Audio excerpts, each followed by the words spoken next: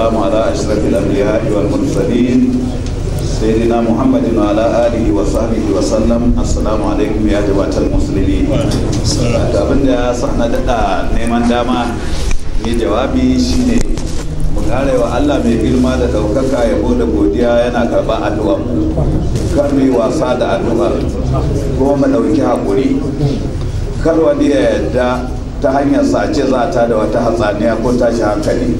Kuma mu rikide kan mu zama security. Da abin da muka gani wanda bai mana ba mu je mu samu security gwamnati mu gaya musu. Ubangiji ya sa a yi zaɓen nan lafiya. Allah zaunar da najeriya lafiya. Muna yaba wa security din da muna ganin ayyukansu. Kuma su zamanto masu haƙuri masu adalci masu gaskiya. Allah ya dora ma kan daidai.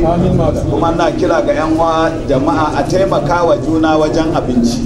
Wanda bai yi cefane ba ya ƙoƙari ya yi cefane. A taimaka wa marasa hali gwargwado gwargwado allah ya mana albarka gaba ɗaya.